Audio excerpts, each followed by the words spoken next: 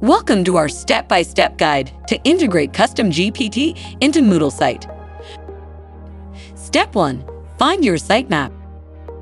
You can find your sitemap at https colon slash slash www.domainname.com slash sitemap.xml. Step 2. Create a custom GPT agent. Sign into your custom GPT app and start a new project. Create project.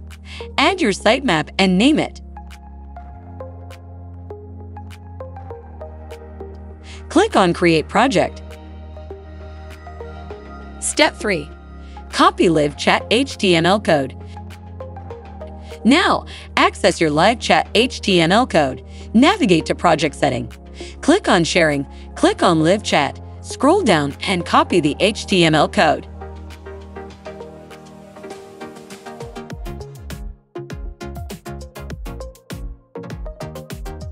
Step 4. Insert your custom GPT agent in your Moodle site. First off, log into your Moodle account.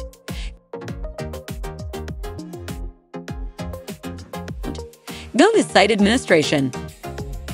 Click on Appearance, then click on Additional HTML. This is where you'll paste your HTML code.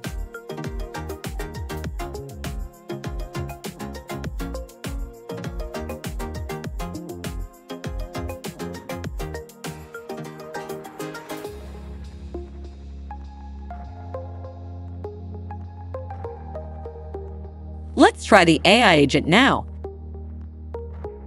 Enter your question and our custom GPT agent is ready to provide an answer.